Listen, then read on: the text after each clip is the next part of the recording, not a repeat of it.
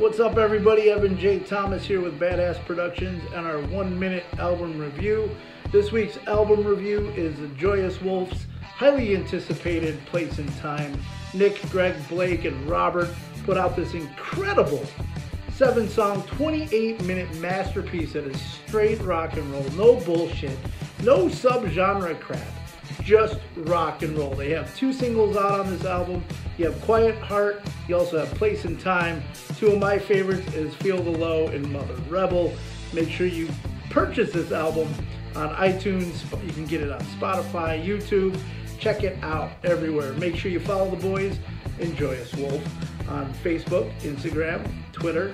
You can follow them everywhere. And make sure you also, when they're in town, follow them as well because they're on tour with Buckcherry and they are one of the best live shows you will ever see. So again, place in time, Joyous Wolf. Until next time, rock on.